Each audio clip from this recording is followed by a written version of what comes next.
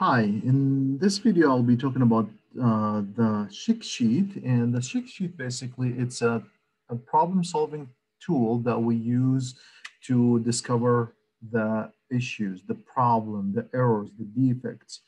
So what is a check sheet? The, the check sheet is a data recording device that is essentially a list of categories. So you have a sheet with the categories, category one, two, three, and four, or defect one, defect two, defect three, defect four. And you monitor the process whenever that particular defect happen, you do a check mark for that particular defects where you start building the number of errors or the number of occurrences. As an event, as events occur in these categories, a check or a mark is placed on the check sheet in the appropriate category. In essence, the user checks of occurrences. So what I wanna do here, I wanna share with you an example, a real example that we could use uh, uh, uh to apply what we've learned so far. What is the check sheet? Okay, so what I wanna do, I wanna share with you this Excel sheet uh, and this Excel sheet is provided to you on D2L. Uh, if you are a student of mine, if you're not a student of mine and you don't have access to my D2L, you could email me and I will send it to you right away. So for this example, we have a medical clinic has four areas of uh, for patients diagnostics. Area A, B, C, and D. At the end of month inspection, many errors are discovered in the invoicing process at the four diagnostic points. Create a check sheet diagram for the following data to investigate the type of errors on the invoices received through the four areas. We have six errors. Number one, error number one is transaction data is not mentioned. Error number two, supplier name is not mentioned. Error number three, supplier VAT number omitted. Error number four, invoice not signed by buyer. Error number five, invoice data not mentioned.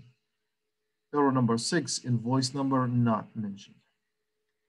And we do have this error right here. As you see, it's a long list of errors that we have. So what we do, we are going to go one by one and check mark in the error. So, so for example, area number two, error number two in area D. So you go to defect number two, and that would be on area D. So this area.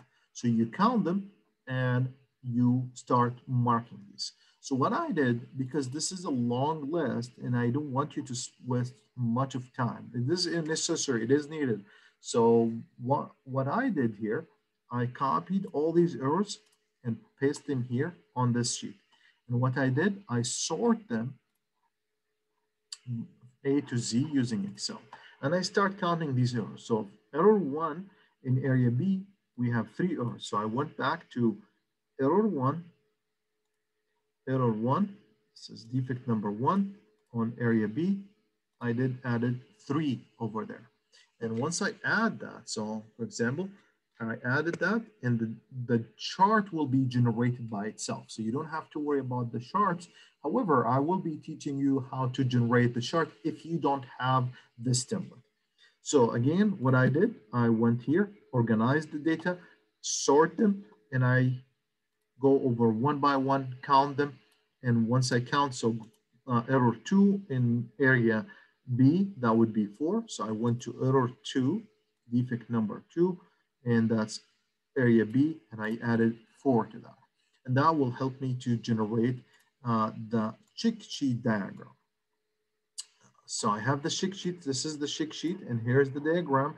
And I did provided two types of diagram. One is occurrences by area. So we could see that area D has the most occurrences of defects, 16. So that what we have to go, we have to go to area D and investigate what are the most uh, happening defects. And these are suppliers, supplier name is not mentioned, supplier VAT number omitted.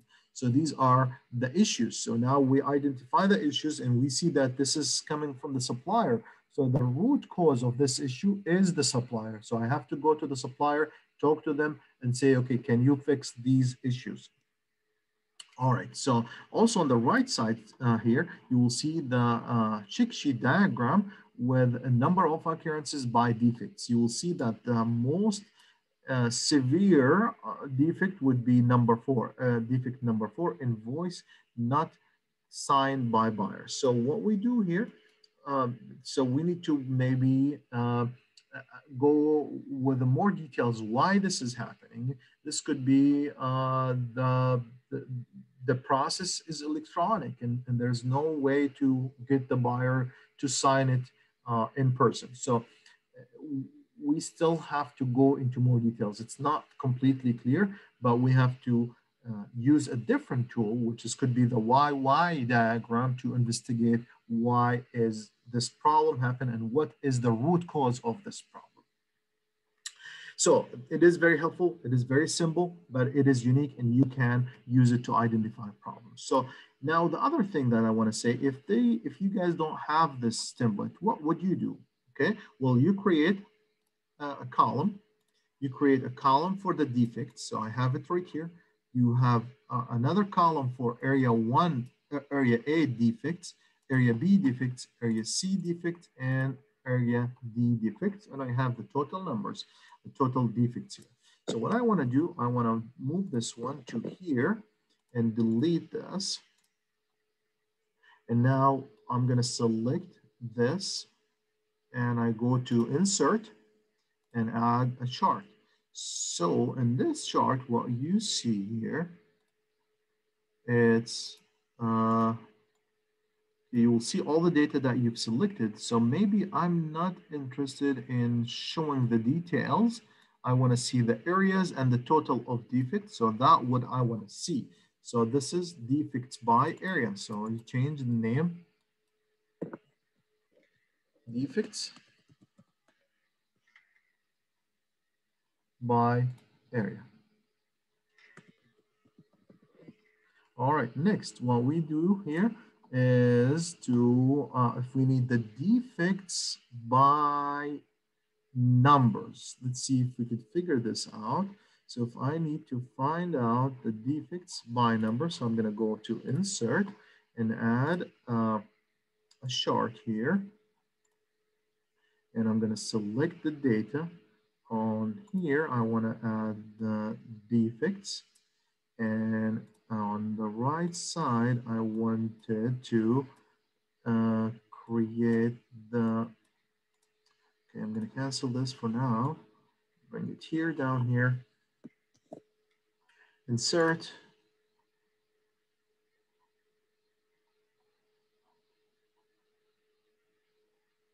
Okay, I want this here, but however, I'm not interested in seeing all this detail, so I wanna just the total. So I want to bring just the total, total defects by transaction. So that would be another way for doing it. As you see, that's uh, defect number four is the most uh, defects happening, the severe uh, defects in goal uh, area, area, uh, area D is the one that we have to focus and find out, investigate more the details. All right, with that said, I'm done with the uh, first tool, the check sheet, and I will see you in another video called the Pareto chart.